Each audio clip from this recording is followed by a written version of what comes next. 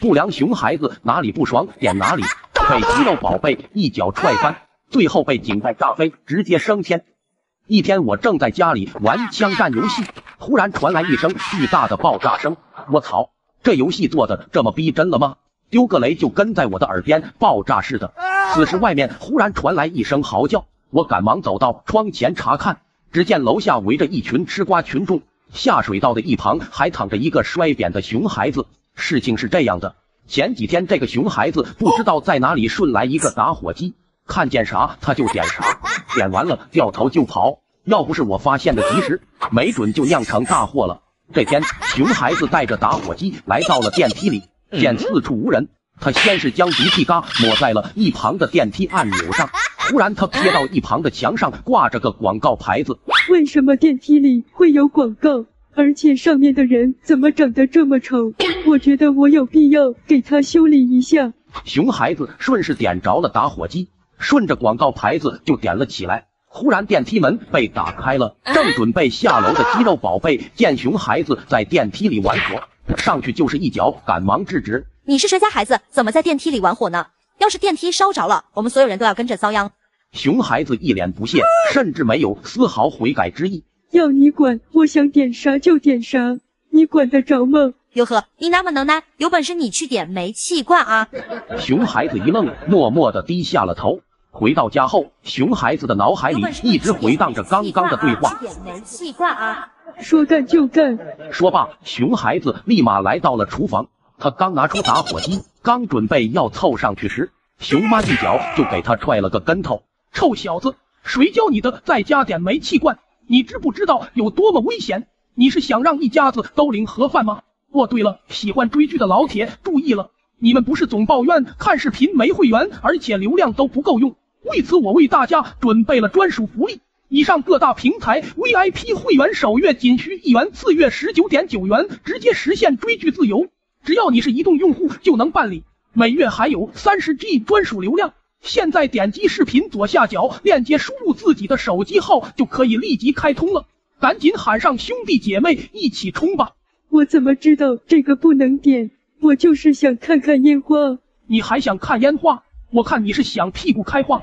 说着，熊妈上去就是一顿胖揍，给我待在家，老实待着，好好反省。我去找你王叔叔谈点事。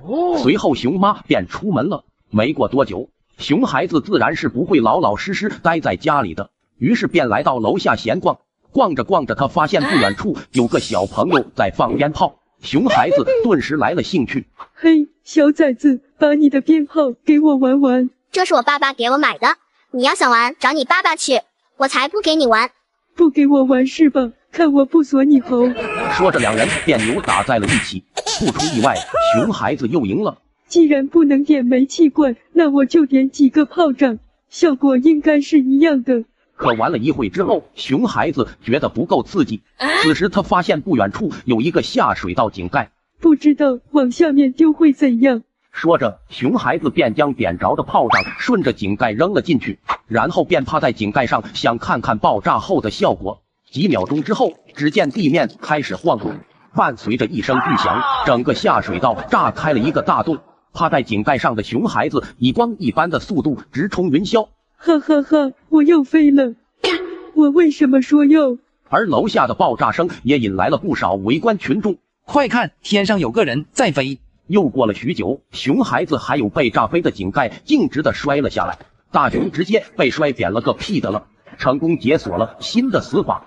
不良熊孩子路边吓人，惹怒健身刺客，最后不知悔改，直接被大货车 KO。一天，我正在外面遛弯，突然发现不远处围了一群吃瓜群众，我赶忙上前查看，隐约看到货车下面还压着一个血肉模糊的熊孩子。这熊孩子不就是前几天吓唬我的那个吗？经过了解，这个熊孩子是旁边小区的，因为一直被散养，所以他总想做点坏事，找一找存在感。这天，我骑着我的小电驴下班回家，快走到一个胡同的时候，忽然窜出来一个熊孩子，吓得我重心都没了，直接摔倒了，新买的车子也被撞得变形。只见熊孩子在那哈哈大笑，看你跟个傻缺似的，没摔死你吧？哈哈哈哈！奶奶的，叔可忍神不可忍啊！我刚想上去揍他，不远处立马有人叫唤起来：“嘿嘿嘿，那个人干嘛呢？当着家长面欺负小孩子啊！你来的正好，你家小孩在这埋伏着，故意吓人，看把我和我那宝贝电车摔的，知不知道多危险啊？要不是我年轻体格好，早让你家孩子干进 ICU 了。熊奶一脸不屑，大小伙子可别睁眼说瞎话，我什么都没看见，就看见你欺负我家孩子了。抛开别的不说，肯定是你骑电车横冲直撞，看我大孙子一个人想讹钱。告诉你小伙子，你还是太嫩了。对了，不得不说，现在的追剧人太会省钱了，一块钱就能开通视频会员。你要是移动用户，就赶紧点左下角，以上热门视频会员可以随便开通，而且会员每月想换就换，另外还包含三十 G 的专属流量，不管是刷视频、看直播、追剧，网速特快，根本不需要连 WiFi。首月一元，次月也才十九块九，但是名额有限，就一千名。快快点击左下角，输入手机号就能立即开通了，会员流量一步到位，有了它追剧不愁流量自由，快冲！说完便领着熊孩子走了，一边走，熊孩子还边扭过头来对着我吐舌头，可我也没什么办法，还是赶紧回家做动画吧。有了头天的教训，第二天下班一路上我都小心提防着，生怕再给我吓出个好歹来，所以我骑得很慢。此时，一个肌肉靓仔从我身旁经过，他的脸上似乎还带着一丝丝嘲讽。忽然，熊孩子从路口跳了出来，肌肉哥来不及刹车，噌的一下连人带车飞了过去。等他反应过来后，一看是熊孩子故意捣乱，一下子就怒了：“小崽子，我看你是找抽！”直接走到熊孩子面前，把他举了起来，对着他就是一顿揍。没过多久，挨了揍的熊孩子回了家。奶奶，我在昨天那条街上被人家打，没想到熊奶却是给了他一巴掌。看你这熊样，怎么一点都不像你爸啊？我是不是教育你，出门在外不能受欺负？他打了你，你不会打他吗？有了熊奶的不良教育，熊孩子胆子更大了。这天还是在熟悉的地点，熊孩子一如既往的藏在那里。他只要看见汽车快到了，就突然跳出来，吓得司机们连忙急刹车。完事还要站在那做几个鬼脸。师傅们见是个孩子，也都没跟他计较，只是教育了几声就开走了。熊孩子在玩耍的过程中似乎找到了刺激，于是决定干票大的。这天，熊孩子假装在路边溜达，当他瞥见后面开来一辆大货车，还是和上次那样，一下子就跳了上去，然后做鬼脸。货车司机也是吓得赶紧急刹，可这么近的距离哪里还刹得住？于是本能的打起了方向盘，速度加惯性加急刹车等于他们的侧翻，熊孩子当场就被压在车底下了，整个人都被压扁了。这时候熊奶也跑了过来，看着被压扁的大孙子，一下子就晕倒了。等急救人员赶到时，熊孩子根本没有救治的希望了。远在海外的熊爸接到电话后。当场就跟亲妈断绝了母子关系，不良熊孩子被老爸胖揍，事后竟气急败坏报复老爸，没想到一失足直接变成了沙雕。今天一回家就看见单元门口聚集了很多人，只见一个女人被人架着，一边走一边嚎啕大哭。我好奇的拉住邻居大哥问是怎么一回事，大哥说道：“阿星，你没认出来吗？这就是二十四楼那个熊孩子的妈妈。”然后又小声说道：“听说这个小崽子昨天半夜跑到工地玩。”结果掉到水泥里淹死了，我大吃一惊，没想到熊孩子这么快就把自己给做没了。熊孩子一家是去年才搬到我们小区，他的爸爸长期在外，在工地当包工头赚了点小钱。在搬来之前，熊孩子跟着爷爷奶奶住在一块，他经常带着一群孩子恶作剧，他的爷爷奶奶不仅不管，还拍手叫好。来到城里后，没见过世面的熊孩子整天在小区里耀武扬威，不是欺负别人家孩子，就是绊倒路人。还用棍子打碎了不少邻居家的玻璃，弄得小区鸡犬不宁。别人找上门，熊妈就给点钱了事，从来不会教育孩子不要这样做。前段时间我新买的别摸我叉衣就有幸被熊孩子划了很长的一道口子，我查了一晚上监控才发现是熊孩子干的。第二天一早，我便找到了他们家。您好，我的车昨天晚上被划了，查监控看到是您家孩子划的。没想到熊妈还没听我说完，就开始口吐芬芳。什么鸟事就来吵我睡觉，滚！然后把门重重的关上了。我一脸懵逼，正好碰上他家隔壁邻居出门。邻居告诉我，这家的女人每天白天睡觉，晚上叫很多人在家里打麻将。他家的熊孩子也经常半夜溜出去玩，所以白天来找他根本不会理你。索性我只好等到晚上熊妈醒了再去敲门。没想到熊妈听我说完，很不耐烦地说：“不就是划了你的车吗？一辆车能值多少钱？小孩子不懂事，又不是故意的。”大姐不能说一句不是故意的就撇清责任了。四 S 店说了，这车补漆需要八千元，你不能说一句不是故意的我就认栽吧。而且小区里是有监控记录的，您如果不照价赔偿，我只能报警处理了。熊妈一听，骂骂咧咧的说：“行了行了，赔你就完了。我老公有的是钱，我儿子一辆车还花不起吗？拿着钱赶紧滚蛋，别打扰老娘打麻将。”此时熊孩子就在一旁得意的冲着我做鬼脸。虽然对方态度非常恶劣，但本着多一事不如少一事的原则，既然已经拿到了赔偿，我也没有继续追究。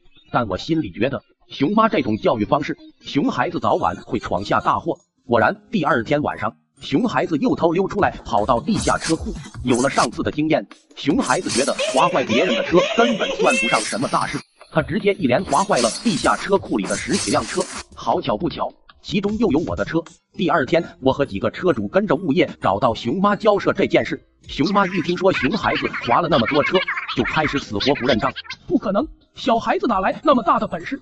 别拿监控录像吓唬我！别以为我不知道，昨天晚上小区里停电了，我连麻将都没打成，摄像头怎么可能拍到我儿子滑车？突然，他看到我站在后面，立马指着我的鼻子骂道：“又是你！上次不是赔了你钱吗？你怎么又来了？没有监控，他们怎么会知道是我儿子干的？好啊，肯定是你个王八蛋引着他们来的！我告诉你，老娘有的是钱，但是一分钱也不会给你们这群大……”说着就挥舞着胳膊冲上来要揍我。物业一看这是个不讲道理的泼妇，干脆也不和他继续理论了，直接报了警。见到叔叔来了，熊妈开始慌了，掏出手机打了个电话。没一会儿，熊爸就赶回来了。最终处理的结果是赔偿了几万块的修车费，因为这次赔了不少钱。熊孩子事后挨了熊爸一顿胖揍，可从小娇生惯养的熊孩子哪里服气，不免怀恨在心，于是又在某天晚上直接偷偷溜到熊爸的工地上。打算好好捣个乱报复一下，他看见一个水泥坑，心生一计，跳到坑边解开裤子，冲着里面撒尿，结果一个没站稳，直接滑了进去。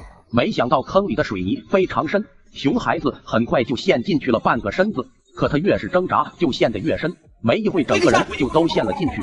第二天，工人们发现后，赶紧把熊孩子挖出来，还打了幺二零，但医生说熊孩子因为窒息太久，已经抢救不回来了，而熊妈因为打了一宿麻将。压根没接到医院打来的电话，甚至连儿子的最后一面都没能见到。当场开花，自摸了。熊孩子随地大小便，被路人追着暴揍，最后学狗撒尿，直接被电到冒烟。这几天我因为阳了，一直窝在家里。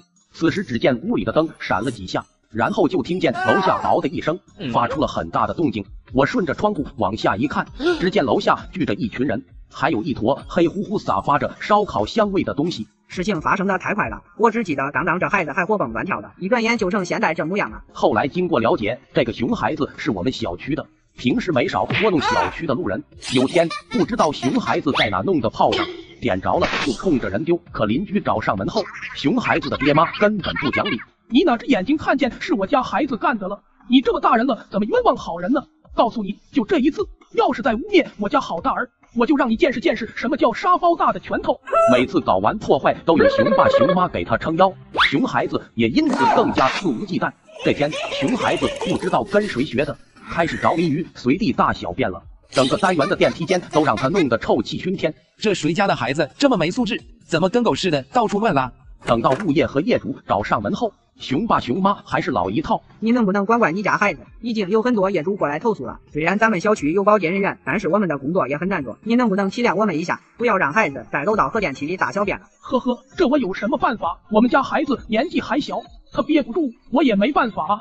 再说了，我也不能二十四小时盯着他吧。而且每年的物业费、保洁费，我也没少交钱。你们打扫卫生难道不是应该做的吗？简而言之，不就是小孩子的一坨屎吗？至于吗？随后，熊妈又张牙舞爪的把物业给轰走了。这天，熊孩子在小区里发现一辆豪华轿车，这么干净的汽车，不留下我的专属印记就太可惜了。熊孩子顺势跳在车上拉了一炮响，也就在熊孩子要夹断的时候，车上立马下来了一个大汉，对着熊孩子啪啪就是两个大逼斗。小屁孩，赶紧给我清理干净，不然我就接着让你尝尝大逼斗的滋味。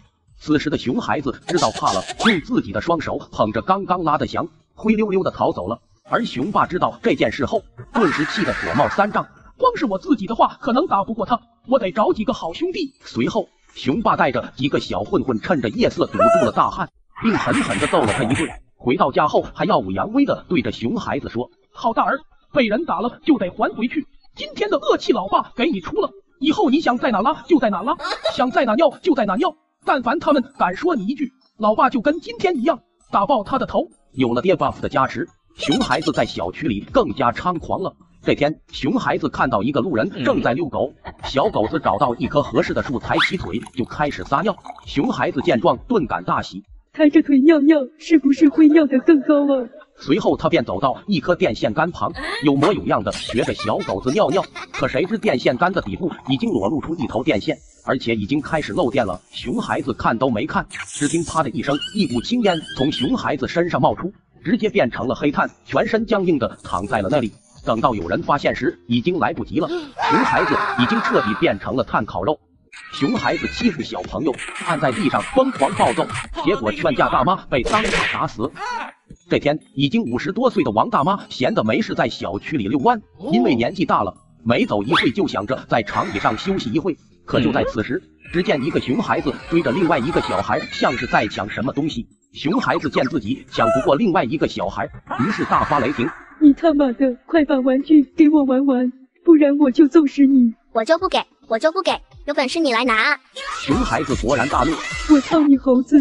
说着，熊孩子便将小男孩按在了地上进行殴打，一个劲的砸小男孩的头。见到这种情况，王大妈也开始担心起来，赶紧上去拉架。你这小胖子，怎么还打人啊？怎么这么狠的心打人家的头？你个老太婆，有你什么事啊？要你管我！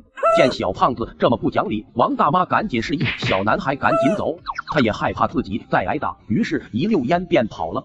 熊孩子见他跑了，更加生气了。你个死老太，快放开我，不然到时候我就把你的氧气管！见熊孩子这么凶，王大妈也来气了。你这个小孩子都跟谁学的？把你老师电话告诉我，我要把你欺负人的事告诉你的老师。一般情况下，小孩子是很害怕告老师的，可熊孩子听见这话更激动了。一把挣脱出来，对着王大妈拳打脚踢。为了控制住熊孩子，王大妈顺势将熊孩子按在了地上。可王大妈毕竟年纪摆在那，体力根本不如一个熊孩子，很快便被挣脱了。见熊孩子一直对自己不依不饶，王大妈也只好大呼救命。也正好在这个时候，小区里的安保过来了，正好看见熊孩子在殴打王大妈，于是赶紧上前拉开熊孩子。并将王大妈扶到一旁的椅子上休息。大妈，你先休息一下。随后，保安大哥便开始教导熊孩子。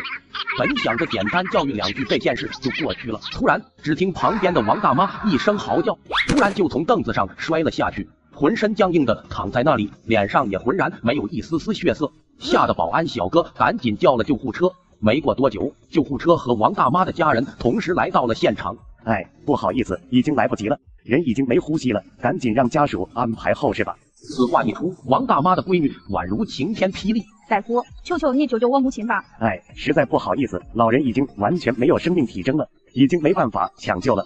对此，王大妈的女儿带着小区的录像，第一时间来到了派出所。叔叔同志，你可要为我们做主啊！这个熊孩子整整打了我母亲十分钟，我母亲都五十多岁了，没想到就这么活活被打死了啊！很快，熊孩子一家被传唤到了派出所。你好，你家的孩子对当事人的母亲进行了长达十几分钟的殴打，事情发生后，当事人的母亲当场死亡。对于这件事，你们有什么要说的吗？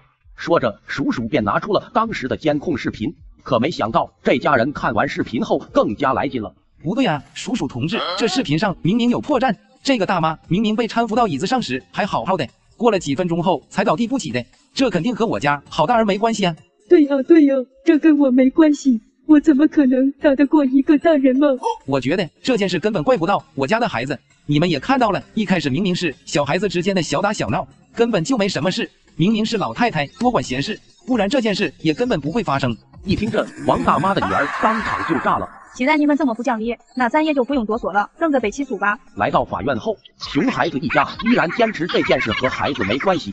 王大妈的女儿则是一直强调，就是熊孩子打死了自己的母亲。为了查出王大妈去世的真相，于是法院对王大妈进行了尸检。结果显示，王大妈的真实死因是血管瘤破裂。这个病如果好好吃药休养的话，不会致命；可如果短时间内情绪波动过大，则会导致血管瘤破裂。也就是说，王大妈被孩子殴打了之后，一时间怒火攻心，导致情绪波动，最终导致血管瘤破裂，当场去世。最后，熊孩子因为还是未成年，免于追究刑事责任，但熊孩子的父母要依法对王大妈进行赔偿三十六万。无赖邻居怪我 WiFi 信号太强，还要报警抓我。这天，我正在为自己的视频发愁，因为就零零星星的几个人评论，突然响起一顿急促的敲门声。我打开门一看，只见一个和我差不多大的男人站在门口。请问你找我有什么事吗？这个男人皱了皱眉，密码八个八的 WiFi 是不是你家的？这是想蹭我 WiFi 啊？我点点头，是我家的。怎么了？结果这个人却说：“是你的就行。从现在开始，我命令你把你家的 WiFi 关闭。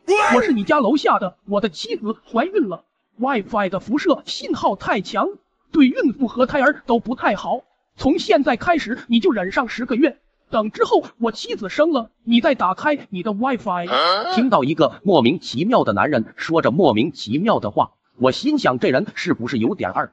但是如果我直接拒绝的话，想必他会一直纠缠不休，干脆我说行啊，没问题。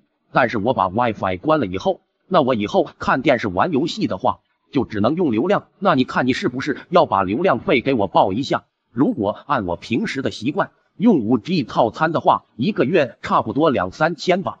说完，这个人的脸瞬间绿了。可随即他又说道：“其实 WiFi 的辐射不只是对孕妇和胎儿不好，对婴儿也是一样的。这样的话。”停十个月可能不太够，你这 WiFi 怎么也得停个三五年。这个家伙是要给我送钱吗？没事，多久我都配合你，只要你给我报销流量费。至于三五年的费用是多少，我评论区的家人们会告诉你。说完，这人也急眼了，凭什么你的流量费要我买单？你老老实实的关了 WiFi 不行吗？真是给我气笑了！你不给我报销流量费，凭啥要我关 WiFi？凭什么要我白白配合你？真不知道你怎么想的，还找楼上来让我关了，也不知道这个人哪来那种理所当然的勇气。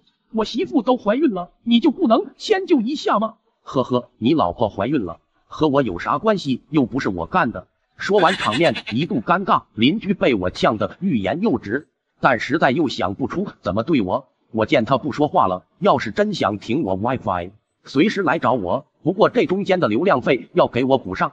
说完，我便回到了屋里，继续看手机。还没过两分钟，我听见外面叽叽喳喳的，好像是在骂我。我打开门一看，只见一个孕妇在张牙舞爪的。这家人真没公德心！我都怀孕了，哪受得了这辐射啊？现在的人怎么都这么狠毒呢？这是要故意害我和我那还没出世的孩子啊！对付无赖就得用无赖的方法，这种事找物业或者居委会是解决不了的。我回到屋里，打开无线网的后台。我将自己的无线设置了多个 C，只听外面的孕妇又喊：“老公，那个啥叉是不是已经把 WiFi 关了？气死我了！这个杂碎不仅没把 WiFi 关了，还又多了几个，而且你看看这名字，超强辐射，流产，不孕不育，基因突变。兄弟们，你们觉得我的 WiFi 名字起的好不好呢？忽然我听见楼外响起了警笛声，哟，这是报警抓我吗？真是服了，前女友和我提分手，还向我索要三千万分手费，最终喜提小黑屋。前段时间我新开的公司刚刚起步，赚了点小钱，于是，在亲戚的介绍下认识了一个漂亮的小姐姐。没过多长时间，我就用超能力将她拿下了。而在这期间，我经常与她一起逛商场，我不光给她买了许多名牌包包和衣服，甚至连她闺蜜的我都包下了。但是当时觉得这也没什么，女孩子花点钱很正常，只要是开心就好。可没想到，她那虚伪的面具没过多久就展露了出来。这天，我接到她的电话：“亲爱的，出来吃饭啊！我想吃神户八爪鱼。”我开心极了，在家打扮了半天才出门。等到了以后，发现她又带着她的闺蜜。本以为这是我们两个人的约会，既然这样，那也只能这样了。走吧，我们去吃神户八爪鱼。可这时她跟我说：“来的挺快呀，我们吃饱了还得去逛街呢，你自己在这慢慢吃吧，记得把单买了哟。”当时我直接气炸了，本来还挺期待这次约会的，结果是这样的局面。回到家后，我就和他说：“我们分手吧。”别的也不多说了。没想到他竟然无所谓的说：“可以呀，那就给我点分手费吧。”我直接惊呆了，没想到还有分手费这种说法。你是在搞笑吗？怎么，我跟你在一起这么长时间，我的青春都耗在你身上了。要早知道你这么抠，还不跟你在一起呢。对于这段感情，我也是付出了真心的。好吧，一会我转给你一点。挂断电话以后，因为本身我的视频就没挣下钱，我便找到了另一个好朋友酷仔，借我十万。啥？你要这么多干什么？别提了，前女友刚给我打电话，可能分手后她过得并不好吧。我想和你借点钱补偿一下她，之后我会还给你的。